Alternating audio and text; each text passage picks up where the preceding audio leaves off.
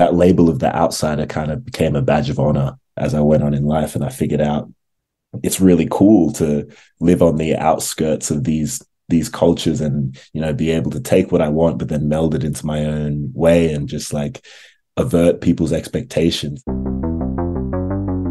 This is Sound and Vision on KEXP. I'm Emily Fox, and that's the West African born, Australia raised artist Genesis Owusu.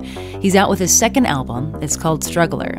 Owusu describes himself as an outsider whose music takes twists and turns and genre spikes you wouldn't expect. The album weaves an industrial rock, rap, Make some noise for your mama's favorite agitator. I ain't saying none, unless I'm speaking for the paper. and funk.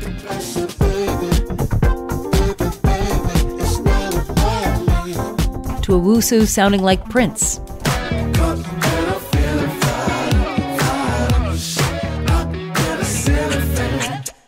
To a sultry lounge singer.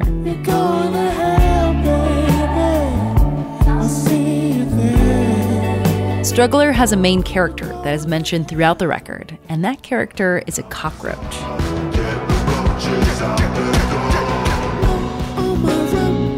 Snap me down, but a roach keeps roaching.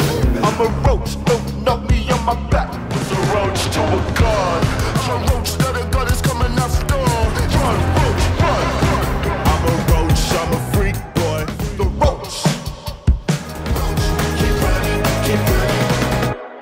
I caught up with the Owusu to explore more of this idea of him being an outsider, but I first asked what the roach symbolizes for him.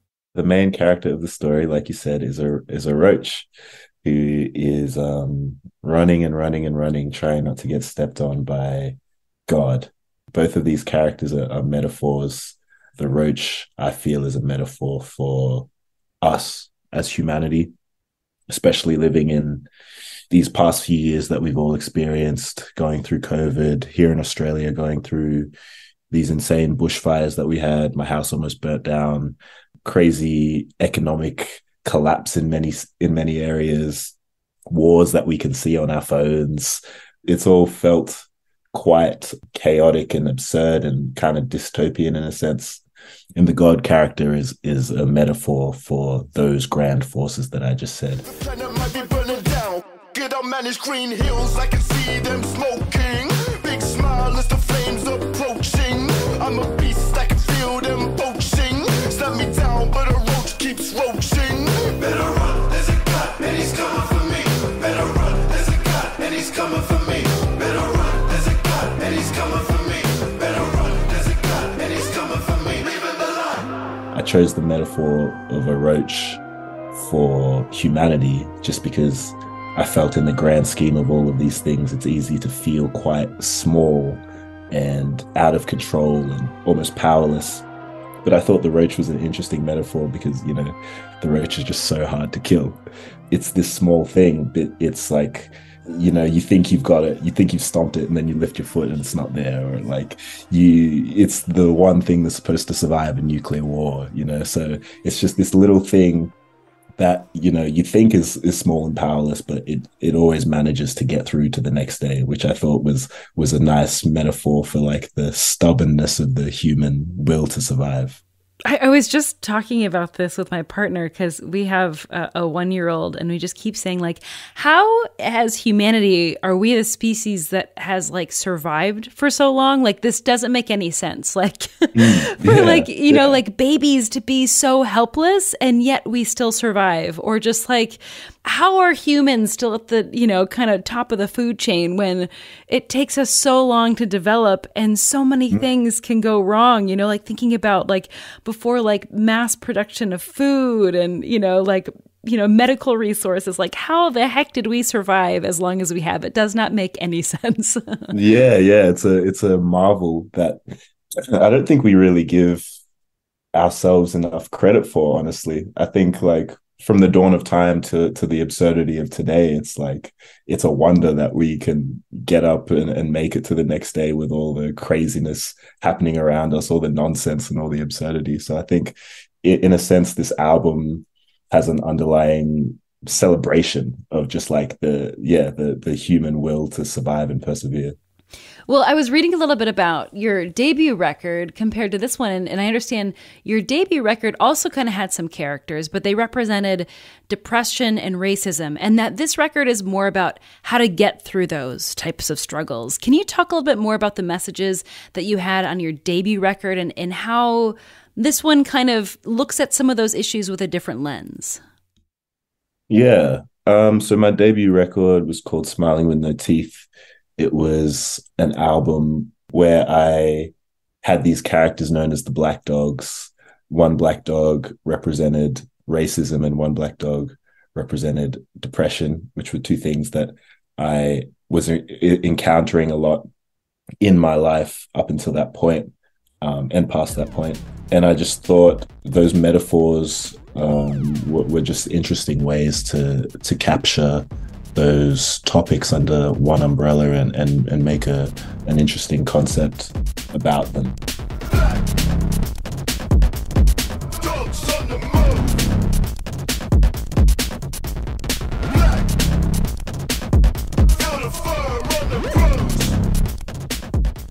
This album, I guess, in the same way you think of like an author writing several books. I think this album is is a different story, but I think you know when when you have an author or you have a director and they have se- several movies, you can see like a through line in their style of how they like to create or maybe what they like to talk about. So I think there's like a through line in that sense, but I definitely think um, I treated this like a like a separate movie or a separate book if I was if I was a director or, or an author. I think it's interesting that you chose a black dog to represent both depression and racism because there's this thing called black dog syndrome that humane societies face, where often humane societies observe that black dogs are passed over in favor of lighter dogs. Like black dogs will be in a humane society a lot longer than a blonde dog or just a lighter colored dog in general. And I learned about this from I think my mom, who owned a black lab, who was just like the best dog in the world. I don't know if it's if this is like comes from like a racist background or if people associate black dogs with darkness or sadness or whatever it may be, but I just think it's interesting that this concept of being passed over because the color of your fur is impacting dogs. Mm. Well, the reason I chose Black Dogs specifically, going into that album, I knew exactly what I wanted to talk about already before I started creating that album. I knew, you know, I used music as a tool for for therapy essentially, and the things that I wanted to get off my chest were the experiences that I had with dealing with racism and seeing racism around me, um, as well as my own, you know, dealings with my mental health and depression. And I, I'd heard you know, maybe going through high school, my principal was like a, a fan of like Winston Churchill speeches. And I think Winston Churchill used the euphemism of the black dog uh, as a metaphor for depression. So I already knew this going into it, but then trolling through my memory and, you know, rehashing my dealings with racism, I'd been called a black dog in my lifetime and, and seeing other black people and indigenous people in Australia being called black dogs as a, as a racial slur. So I thought it was interesting that I knew I wanted to talk about these two things, but then this term came up that kind of encapsulated both of the things that I wanted to talk about. So yeah, that's why I personally chose chose that as a metaphor.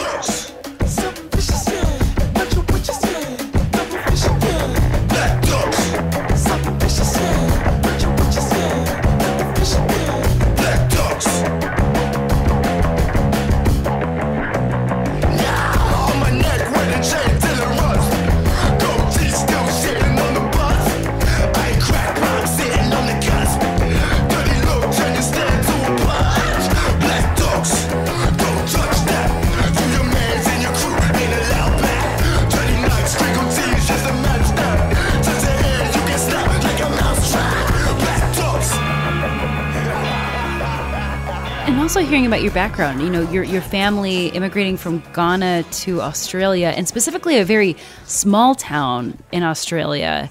And I think you had mentioned before, like when you moved, like you'd never seen a white person before, and here you are, like in this hmm. small town in Australia. And I'm curious, like how that upbringing informed your views on racism. Um, yeah, so I, I moved to from Ghana to a city called Canberra, which is actually the capital city, but no, no one really knows that. Um, it's very small. They call it the bush capital. I think it's got about 300,000 people now or 400,000. It's grown since I've been here, but where I got here when it was very small. Um, the community that I lived in, there were no other black people. I don't think there were really anyone apart from white people. And, you know, being so young, I had never met white people. White people had never met bla- uh, a black person before, so it was a very interesting like exchange of culture and identity. It was essentially just like trying learning how to navigate life as like the outsider because you know I came with my family, so they were all kind of going through it at the same time. So I didn't really have a necessarily like a role model who had been through it before near me to guide me through. So it was kind of just like a navigation of figuring out how to live as the outsider. And I think that really shaped how I live today and how I make music. That label of the outsider kind of became a badge of honor um, as I as I went on in life, and I figured out it's really cool to live on the outskirts of these these cultures and you know be able to take what I want, but then meld it into my own way and just like avert people's expectations. And when I started creating art, then it became like I get to put all these little twists and turns and all these genre spikes in my music that no one would expect because I just learned how to navigate on on the outskirts of what people expected, I suppose. Are you still living in Canberra? Um, yeah, on a te- technically, I, I still like it's still on my like papers, but I've been touring so much that like I'm barely I'm barely ever here. But I'm here right now. I'm I'm in Canberra right now talking to you because i mean I, I, just like see you know you, you, not only you've won like all these awards in australia and now you're making waves here in the states you know like you're you're making a name for yourself. And i i feel like when artists start to do that they either immediately move to la or if you're in australia i feel like you'd be like in melbourne or sydney or something like that. But mm. you are still in a smaller city. What about canberra has inspired you to still consider that home base? Um, I think I've really just grown to love it. Like I've grown to love its pace. I think I've got enough chaos in my life right now. I think like my main the main side of my job is to tour. So I I go to LA all the time. I go to you know Sydney, Melbourne all the time. I I go everywhere. So it's really nice to just have a base where I can come back and not have to deal with all the the lights and sirens and and all of that stuff. I think it's also a place that's almost like a a blank canvas in a sense because it's so small. There aren't necessarily many like scenes or or movements to get caught up in artistically. Like I know when I started making music, there was like a wave in Melbourne. Like they were really into like jazz rap so if you were rapping and you lived in Melbourne, you were going to do like jazz rap. And I guess it's, you know, before internet dominated everything, you know, New York had a sound and like the West Coast had a sound. But I feel like since Canberra was so small, it was a blank canvas and you can paint in any color you wanted. Like you weren't going to get swayed by what everyone else was doing because you know not everyone else wasn't really doing anything and if they were they were kind of just doing their own thing and it kind of helped me to really reinforce like who I actually was and what sounds that I actually wanted to create outside of what was going on around me. Yeah, you had to create your own scene and sound. That's yeah, exactly. that makes a lot of sense. So there's a line in one of your songs that really stood out to me. It's in your song What Comes Will Come. And the line is busy making new trauma, so I got something to rap about. Busy making new trauma, so I got something to rap about. Break down that line for me. Mm, okay, this is this might be a long a long line to break down, or it might not. I guess. We'll well, it's it's there's a there's a um, lot in there. It's that's yeah. a heavy statement. so, I guess, like I said, I started making music, and I started taking music seriously as a form of of therapy. It was a form of figuring out how to take in and explain what was happening in my life externally what was happening in my mind and body internally in regards to like depression and mental health. And you know, so I'd put out these songs every once in a while, and it was essentially just a yeah, it was it was essentially just the practice of therapy. And then I guess along the way, people started really liking the songs I was putting out. And, you know, fast forward to my first album, and it got a lot of acclaim. A lot of people really resonated with it, which, you know, I'm very glad and happy about. But I guess from there, it's like, this is a career now. And I can't really just like wait for I don't know. It's like it's like now now that it's a career, I have to pump out this music with a with a framework in my mind that this is more this is a product as well. And i have to keep consistent. I have to keep getting people's attention and having my name out. And i suppose the purity of it kind of felt like it was under attack in a sense. That that tool of therapy was like the main reason that i made music. But now I've got to make music as a product, I suppose. I didn't really know how to do that. Is I think is the main problem. I think um, I didn't really know how to do that. I didn't really want to do that in a sense.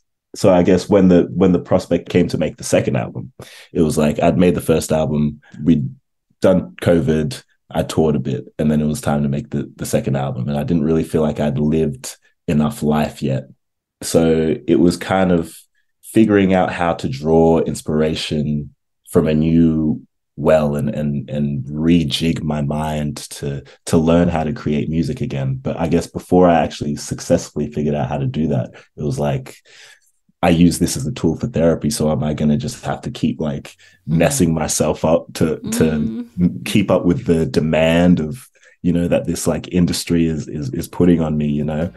So yeah i guess that's really the the breakdown of of that lyric. Drama, so I got something to rap about. Self-inflicted stabbing down, baby, what's that about? So acting like I don't know, and of course I blame my boots for the faults in my toe. And that makes sense, especially since your first album was like about a heavy topic like racism and depression. But overall, you were able to find, you know, different muses. And here we go, a second album.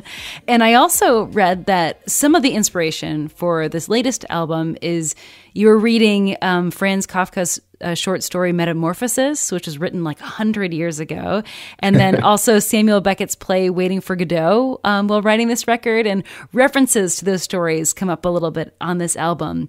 Tell me the backstory behind Metamorphosis and Waiting for Godot and what struck you the most about those stories when you were reading them. Well, I think those stories really gave me a basis of like how I wanted to to approach my story. And I think more so the inspiration or why I found them so inspiring was was because they were written so long ago, but they still I still felt like they were so hilariously on point with what we are all living through today. Like for example, like the elevator pitch of, of metamorphosis is there's this guy who turns into a huge bug. and in the in the like the first pas- passages of the story, he wakes up and he turn he's turned into this huge they just call him a pest or a vermin. So he's essentially this huge bug and his first thought isn't like what is going on? Things that you essentially think would be your first thought when you turn into a huge bug. His first thoughts are oh damn how am i going to get to work today? What's oh. my boss think? You yeah. know like and i thought that was just like so hilariously on point with how we were living as a society. You know, like we were going through these things where, you know, if you put them in a list on paper, it would sound so crazy that we're able to survive in a world like this, but we do. And every day, every morning, we we do the same thing essentially. We wake up, we put on our suit and tie or whatever, and we keep it pushing because these bills got to get paid. But I, yeah, I thought that was so hilariously on point that Franz Kafka was able to to capture that hundred years ago, um, but also through the framework of turning this guy into a into a huge bug. Waiting for Godot is is almost um, inspired me in a similar light because it took, I guess, what we are going through today, but but really just turned it into took it through this absurdist lens, which is I guess what I wanted to do when I made this album. I think the that philosophy of, of absurdism was a was a real foundation for for me and in how I created this story. There's a very explicit waiting for Godot reference where it's like I can wait here for Godot or pick my legs up and move. And that's because in Waiting for Godot, it's like a two, three hour play or something like that, maybe two, two hours. And the whole play, they're just, um, it's two characters and they're literally just standing in the same place, waiting for this person named Godot that neither of them have met. And yeah, that is the whole play. They're literally just standing there talking to each other. Some people walk past them every once in a while. But yeah, I guess it's just a, a metaphor for I guess, waiting for life to happen or waiting for the answers to come and essentially, I guess, squandering your time instead of actually living and finding life for yourself. So, yeah, t- in Tied Up, it's essentially about recognizing the, the chaos and the, the absurdity around us, but like putting our our hearts and minds into into gear and, and pushing through and persevering despite all that right back, cause damn, what else can I do? I can wait here for Godot or pick my legs up and move. They only let me whimper when I'm crying to a groove. It's a wild west, Overall, what would you say were the biggest inspirations for this record? Like, as you move away from this idea of music solely as therapy and starting to, you know, want to want to create a, a discography for yourself what were some of the things that you really turned to for inspiration on this record? Yeah, I mean, those were the biggest two things. Franz Kafka, Metamorphosis, uh, Waiting for Godot by Samuel Beckett, and uh, Berserk, which is a manga by Kentaro Miura. Those three things were the biggest inspirations for the album. And I thought it was interesting because generally you get inspired to make music from other music. But, you know, when I was a kid, my first ever form of expression was through short stories. And then that transitioned into poetry, and then that transitioned into music. So this kind of felt like a a return to center. And I think I realized through this that I've always just been a storyteller. And I think that's what I really want to do. And the medium for which I've told stories has just changed throughout the years. Um, I think my first album was a story, and I think this is very much even more a story. And I think that's how I managed to to rejig my my mind and, and inspiration and that realization through reading and watching these stories that this whole time you know whether it's through making music whether through live performance i've always just wanted to tell stories and that's always what i've done and i guess that's what i'll continue to do Amazing. Well, congratulations on the record. It is called Struggler, and I've been speaking with Genesis Owusu about his latest record. Thank you so much for your time today. Thanks for having me. I appreciate it.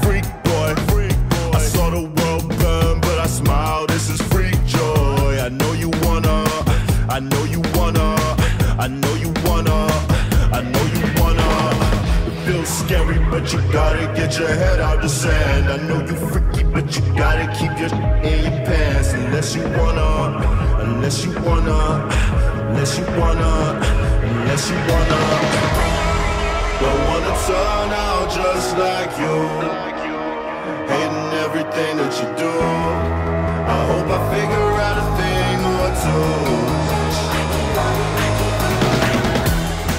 That was Sound and Vision. Please take a moment to subscribe, rate, and review this podcast, and consider giving a one-time $20 donation to help support this show at kexp.org slash sound. Thanks for listening.